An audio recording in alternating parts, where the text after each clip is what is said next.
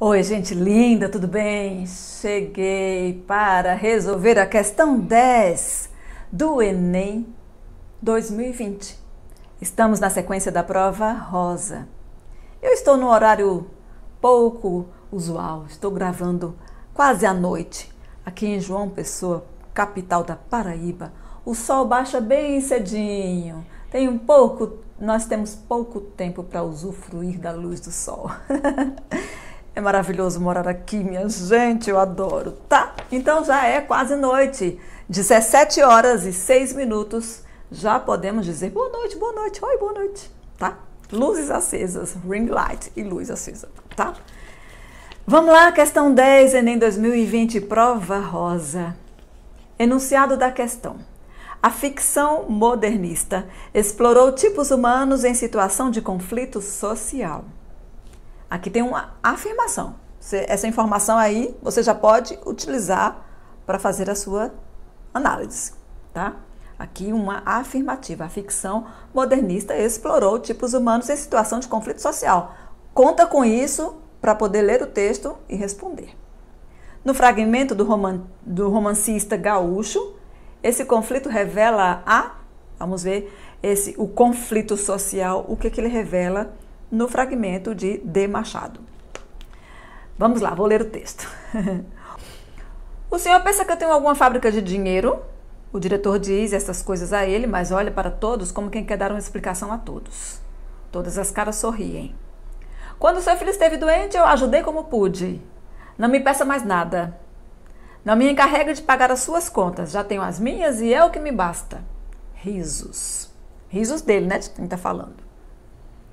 O diretor tem o rosto escanhoado, a camisa limpa. A palavra possui um tom educado, de pessoa que convive com gente inteligente. Causeus. O rosto do Dr. Rich resplandece vermelho e glabro. Um que outro tem os olhos no chão, a atitude discreta.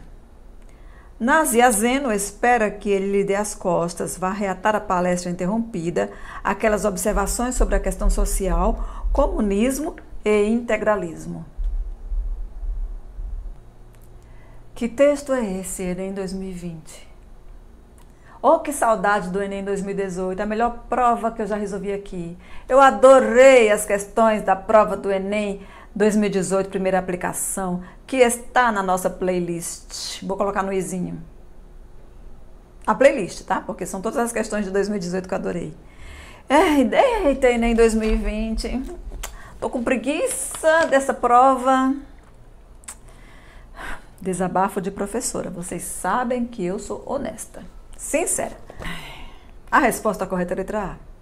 Vou ler novamente o enunciado. A ficção modernista explorou tipos humanos em situação de conflito social.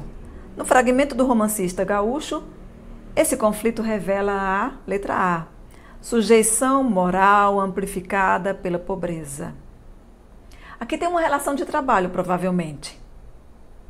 O que o senhor pensa que tem uma fábrica de dinheiro, o diretor diz coisa a ele, né? Deve ser o, o empregado pedindo algum, alguma antecipação né, do pagamento e tal, né? Então, a sujeição moral amplificada pela pobreza. O funcionário é mais pobre que o, que o diretor que está falando aqui, e assim, a linguagem dele ao falar com o funcionário é de ironia, é, é de, de, enfim, arrogância e zombaria mesmo, né? Então ocorre uma sujeição moral, realmente. É, quando o chefe ele zomba né, do funcionário, ele faz ironia, olha para os outros, expõe até na frente dos outros a, a situação, estamos diante de um assédio moral. Então, existe uma sujeição moral que se torna amplificada porque o funcionário é pobre. Se ele não fosse pobre, talvez a situação fosse outra. Letra B, é a correta, tá? Letra A é a correta. Letra B, crise econômica em expansão nas cidades? Não, porque o texto não aborda isso.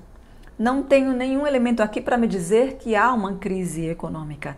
Há uma crise econômica de um, de um é, personagem, o funcionário. Mas não que há uma crise econômica nas cidades ou em expansão nas cidades, o texto não aborda isso Em nenhum momento, tá, gente? Não marcamos essa porque o texto não fala sobre isso. A resposta correta tem que estar no texto. Ela atende ao, ao que pede o enunciado e está no texto. E a letra B não está. Letra C. Falta de diálogo entre patrões e empregados. É, falta de diálogo não é exatamente o problema. Falta de se colocar no lugar do outro, de olhar o outro. Então não é falta de diálogo entre patrões e empregados. Não, entre esse patrão aqui. Tá? Letra D perspicácia marcada pela formação intelectual, perspicácia não, arrogância, né? Seria a formação intelectual do patrão em relação ao empregado, ela é destacada, é mencionada no texto. O diretor é, possui um tom educado de pessoa que convive com gente inteligente. Se toca isso daí, né? Nem sei se tem mesmo uma formação intelectual tão elevada, mas parece que tem. Mas não há uma perspicácia, há uma arrogância. Letra E, letra E. Tensão política gerada pelas ideologias vigentes. Há uma tensão política? Não, porque o texto não aborda questões políticas. Aborda uma questão trabalhista de relacionamento patrão-empregado. Claro que a situação é política, tá? Um, um problema de uma relação problemática no meio de trabalho é uma questão política que gera discussões no meio político, sim, é verdade.